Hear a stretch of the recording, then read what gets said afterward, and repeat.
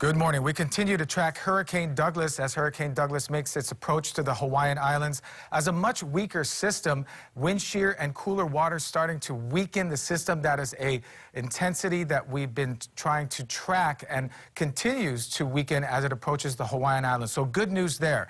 Now, as of 5 o'clock this morning on our last update, the system had uh, winds of around 100 miles per hour, but now it's down to about 90 miles per hour. It is a solid Category 1 hurricane.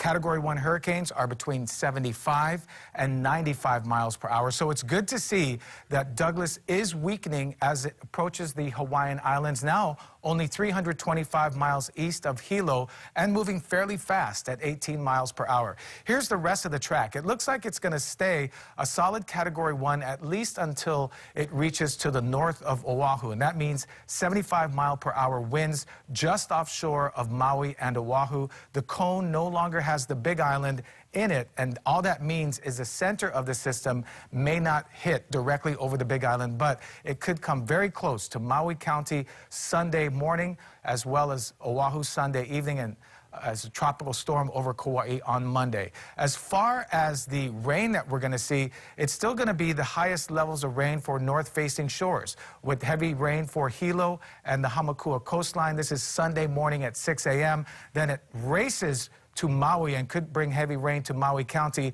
by 1 p.m. on Sunday. Heavy rain chances are high for Oahu 7 p.m. This is tomorrow night through the course of the evening into Monday morning. And Kauai is most likely going to see very heavy rain from this early Monday morning through Monday midday before the system moves to the west and away from the islands. We should be clear of Douglas by Monday midday, no later than Monday afternoon. So the rainfall forecast for the heaviest rain now still remains for the Big Island starting at Sunday at midnight through the course of the day Sunday. Maui County all day on Sunday. Oahu Sunday afternoon, maybe Sunday evening through Monday morning, and Kauai Sunday night through Monday afternoon. Rainfall totals projected very high now for Kauai at 8 to 12 inches. Oahu can see about 5 to 7 inches of rain. 3 to 6 for Molokai, 2 to 4 for Lanai, 4 to 8 for Maui as well as the Big Island. These are projected rainfall totals for Sunday and Monday, but depending on the track, we may see more,